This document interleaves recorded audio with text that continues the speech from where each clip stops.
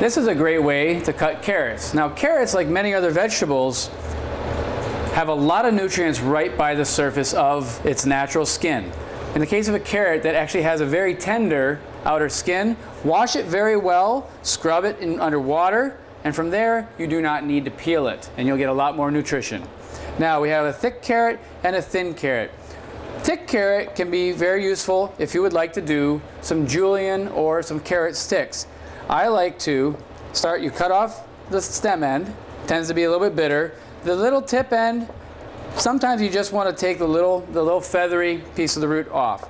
Now instead of taking all your time to try and cut it evenly down, how long do you want your carrot sticks? Cut it into that length first. From there, it turns out to be much more manageable to cut it right through on both sides. Lay the flat end down, and then you can cut it into your sticks the size that you would like. If you would like to do a dice on it, you then take it, cut it into the sticks, then from there, turn it and cut right on down to, for a nice cube. Now, when you have a much thinner carrot like this, same thing, cut the end off. The greens obviously come off this end.